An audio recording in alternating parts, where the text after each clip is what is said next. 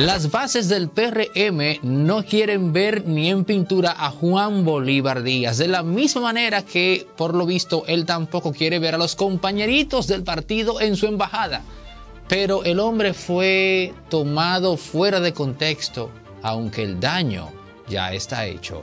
La fuerza del pueblo, o más en concreto su líder Leonel Fernández, tienen ahora un gran apuro, porque tienen una agenda de críticas al gobierno pero la ejecución del muro no necesariamente llama a que Leonel Fernández critique esa acción, aunque quiera hacerlo, y a continuación también te explicamos por qué.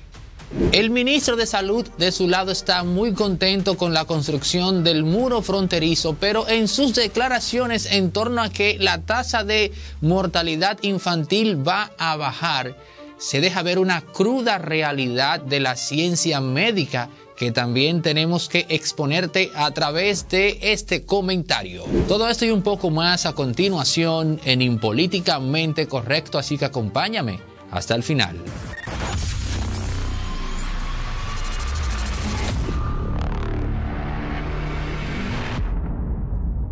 Juan Bolívar Díaz se hizo tendencia en República Dominicana y de la noche a la mañana se ha convertido en un demonio para las fases del PRM porque unas declaraciones en las cuales él dice de manera explícita que si a él le nombran a un miembro del PRM, él renuncia de la embajada, lo cual ha provocado indignación de esas mismas fases. Y también incluso hasta el diputado Elías Báez salió a pedirle que renuncie porque ese cargo que él tiene se debe al esfuerzo de esas fases que él rehúsa que sean nombradas en, en su embajada. Ahora, tenemos que decir categóricamente, tras ver el corte de alrededor de dos horas, que Juan Bolívar Díaz fue sacado de contexto.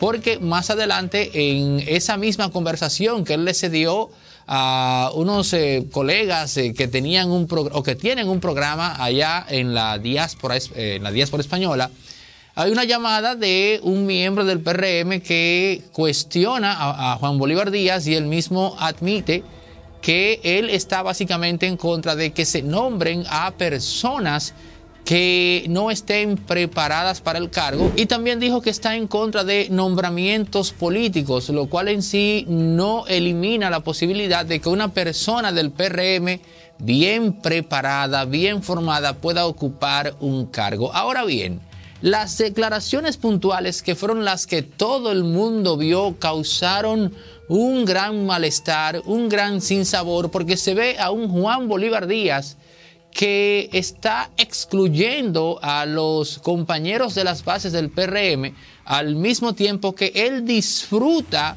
de, digamos, ese derecho que él les estaría negando a ellos. ¿Y cuál es? Bueno, el hecho de que él se destacó en esa campaña en la oposición para que el PRM llegue al poder y fruto de eso el presidente lo reconoce dándole un cargo. Y hay que decir qué cargo, señores, porque la Embajada de España junto a la de Haití son las que cualquier funcionario que aspire a hacer carrera diplomática más desea. Oiga bien, la Embajada de Haití, paradójicamente, amén de ser este un país pobre, y también la Embajada de España son las que, digamos, con las que más se sueña, las que más anhelan. Y Juan Bolívar Díaz, a Juan Bolívar Díaz, lo mandaron para la de España. Pero también en esa misma línea, otro razonamiento muy básico. Si Juan Bolívar Díaz dijese en serio que, que él está opuesto a que se le nombre un compañero del PRM y que por eso él se va de la misma, pues entonces habría que preguntar, bueno, pero si no se puede nombrar a un compañerito de la base del PRM que tenga una buena preparación, pues los que quedan son los del PRD, los del Partido Reformista y los del PLD. Con lo cual, el mismo Juan Bolívar Díaz estaría con esa actitud allanando el camino para que los que ocupen esos cargos sean elementos de la oposición. Ahora, aquí hay que decir, aprovechando esta confusión que se ha armado, confusión que sé que no vino de manera accidental, ese corte no sé, no sé quién lo hizo, pero está debidamente preparado para provocar un malestar más entre las bases del PRM y el presidente Luis Abinader. ¿Quién pudo haber sido? Yo no sé. Usted, a usted le pasará por la cabeza, bueno, quizás el ingeniero Ramón Alburquerque y su equipo de comunicación, quizás el doctor Gómez Mazara, no sé quién. O de repente un elemento externo. Estoy haciendo suposiciones y mencioné nombres de elementos adversos a la negativa que existe hacia la base del partido, pero no tienen por qué ser ellos. Ahora bien, señores, yo voy a aprovechar la oportunidad para decir algo que aquí no se plantea, porque aquí se hace un ejercicio de comunicación en donde se apela a jugar con las emociones de las masas. En República Dominicana no tenemos a políticos. En República Dominicana tenemos un país debidamente fragmentado y eso es bueno, porque el ser humano en una sociedad democrática tiene el derecho a parcializarse. El ser humano tiene el derecho a sentirse representado. Nosotros hemos acudido a un ideal, a una utopía, para en esa misma línea entonces tratar de desmeritar al elemento que se, que se identifica con un partido X. No, eso no es justo, eso no es correcto. Y con esto quiero ir al punto en el cual se sacó de contexto a Juan Bolívar Díaz. No se le debería negar a una persona estar en el gobierno por el hecho de que pertenece al mismo partido. No se le debería negar un cargo a una persona por el hecho de que está en la oposición y yo tengo que darle paso a los compañeros de mi partido. Suena algo contradictorio. Parecería que ambas realidades no pueden coexistir. Pero adivinen qué, Claro que ambas realidades sí pueden coexistir, porque lo único que se necesita para acabar con eso es eh, básicamente medir a todo el mundo con la misma vara en el sentido de que si hay un cargo público y hay una competencia, pues de esa competencia usted va a elegir al más preparado. En ocasiones, el más preparado será el compañerito del PRM y en otras ocasiones será el compañerito del PLD, del PRD, de Alianza País, etc. Eso es lo único que tenemos que hacer para acabar con esa práctica burda y mediocre. Porque fíjense ahora, ahora de repente en las bases del PRM entienden y asumen que pertenecer a ese partido es un pecado, es un delito cuando se trata de entrar al tren de gobierno. Y asumen correctamente entonces que quienes están aún en el Estado son los compañeritos del Partido de la Liberación Dominicana. No estoy diciendo que en ambos casos esté bien, sino cómo en el PRM asumen que están las cosas con la empleomanía en el gobierno. Pero una vez más digo, ese relajito se acaba en el momento mismo que acceder al Estado se convierta en una competencia. En muchos casos entrará gente de un partido, gente de otra, porque no es verdad, como lo quiere por cierto pintar el PLD, que en un único partido en República Dominicana están las personas más preparadas del país. No, eso no es así. Cada partido tiene una muestra representativa de gente tecnificada, de gente profesional, de gente con doctorados. Todo lo que tenemos que hacer es una competencia y que acceda al cargo simplemente el más preparado. Esa lógica no fallaría.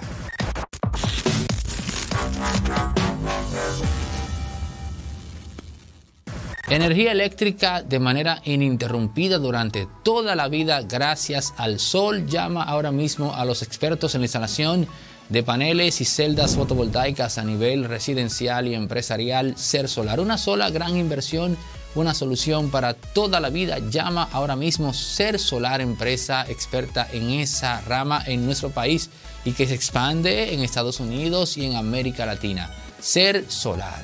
Farmacia Medicar GBC estará muy pronto en Puerto Plata. Sí, ya lo escuchaste, muy pronto en Puerto Plata.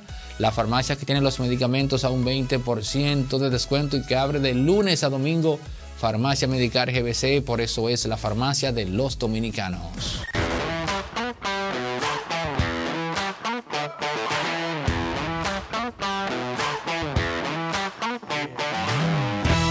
Oigan en qué paradoja se encuentra Leonel Fernández. Atención, mucha atención, presten oído a esto que estoy diciendo. Señores, el tema del muro fronterizo o la verja inteligente, lo que sea finalmente, pica y se extiende y ahora compromete la estrategia de ataque político del presidente Leonel Fernández y de la fuerza del pueblo. ¿Por qué razón? Bueno, pues porque Leonel está ahora mismo buscando cualquier eh, paso en falso de Luis Abinader para entrarle.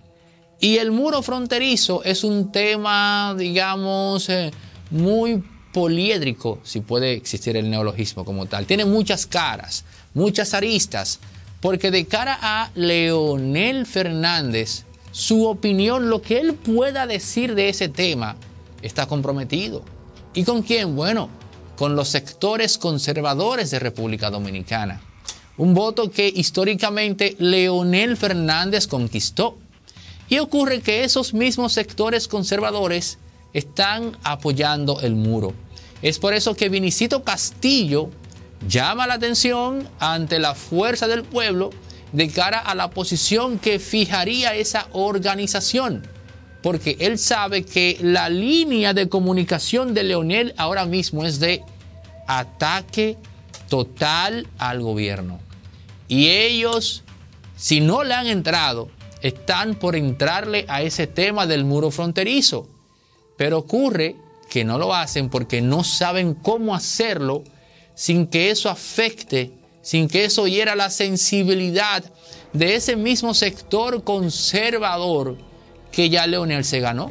¿Y saben acaso ustedes lo que significa de momento de golpe y porrazo eliminarse, quitarse de arriba ese apego, esa empatía de ese voto? Eso no es cualquier cosa, porque a medida que se, se tiene que reconocer que los sectores progresistas han avanzado en República Dominicana, han conquistado simpatías que a su vez se traducen en más votos, nunca se puede subestimar en ningún país del mundo al sector conservador y menos en República Dominicana. Andrés L. Mateo dice que este país es un país liberal. Yo digo que no. Porque ¿cómo es posible que en un país liberal, en tanto tiempo, no se haya tenido un solo presidente exitoso, liberal? Hay gente que sube con finta de liberal, como el mismo Leonel Fernández, pero termina en el ejercicio del poder convirtiéndose en un conservador. Y eso se debe a que es lo opuesto a lo que plantea Andrés L. Mateo. Este es un país culturalmente conservador. Este es un país de idiosincrasia conservadora. La verdad sea dicha. Si aceptamos esa premisa, comenzamos entonces a entender muchas cosas que de momento parecen enigmas históricos de República Dominicana. Y ahora Leonel Fernández tiene la dura prueba de tener que conquistar, no, no, corrijo, tiene la dura prueba de tener que enfrentarse al tema de la construcción del muro, porque él tiene que seguir atacando al gobierno, pero hacerlo de una manera que no le granjee apatía en ese sector conservador con el cual el expresidente Fernández cuenta para las elecciones del año 2024. Por eso fue que dije al principio la construcción del muro o la verja inteligente en la frontera pica y se extiende y compromete ahora a la línea de comunicación política de Leonel, que tiene una misión, oigan bien, una misión que de repente me parece a mí misión imposible. Atacar el muro sin que eso al mismo tiempo no produzca un descontento en los sectores conservadores. imposible. Si Leonel logra eso, que lo dudo, ¿eh? estaría ya de manera definitiva eh, vendiéndose o reafirmándose más bien como un prestidigitador del discurso político.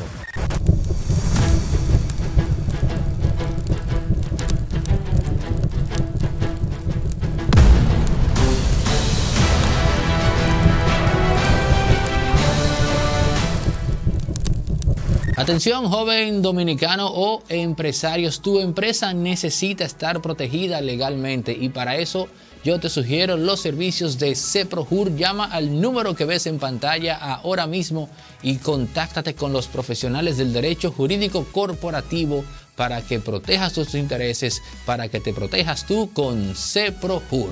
Recuerden los clasificados de Impolíticamente Correcto pueden escribirnos al 849 638-8652 para publicitar en nuestra plataforma ese apartamento o ese carro que quieres vender así de rápido sin tener que pagar un centavo por el anuncio más bien ponerte de acuerdo con nosotros en una comisión mínima de ventas clasificados de Impolíticamente Correcto. Escríbenos al 849-638-8652.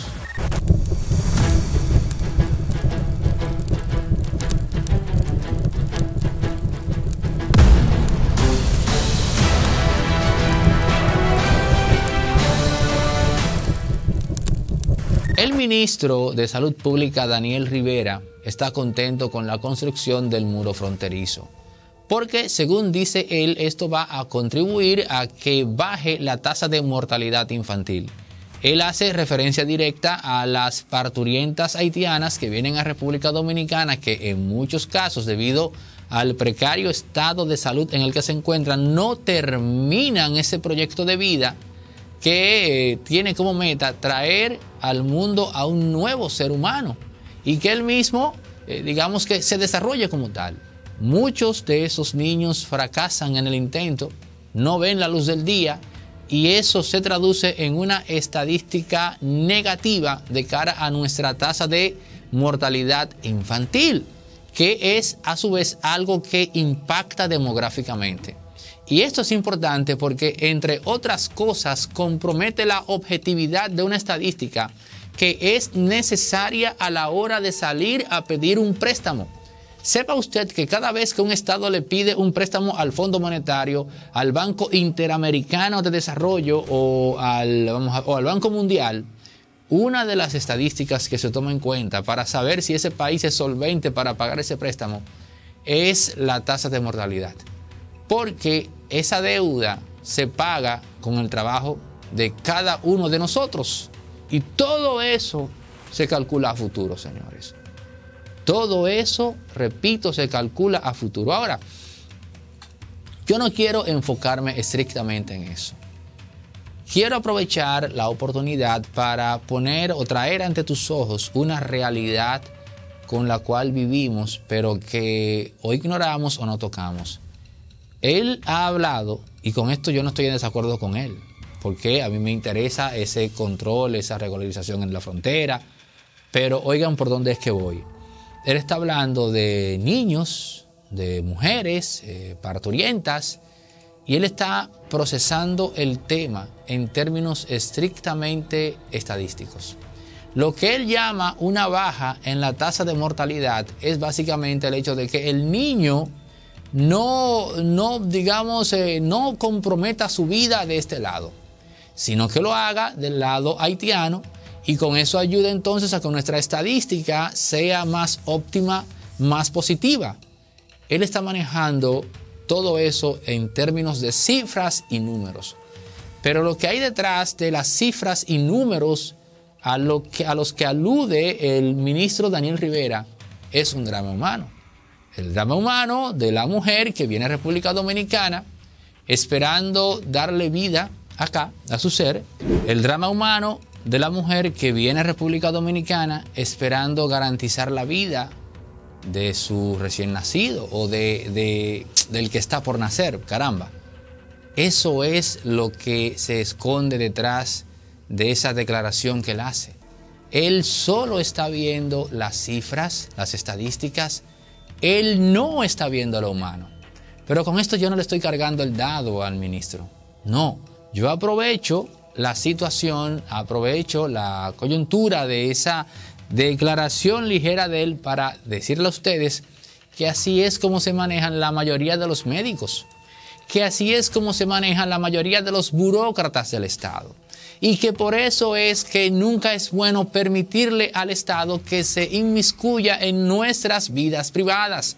Porque quienes manejan el Estado a través del gobierno, en todo eso nunca ven lo humano. Lo único que ven es precisamente lo que está viendo el ministro de Salud Pública en este tema. Cifras, números y estadísticas, más nunca seres humanos.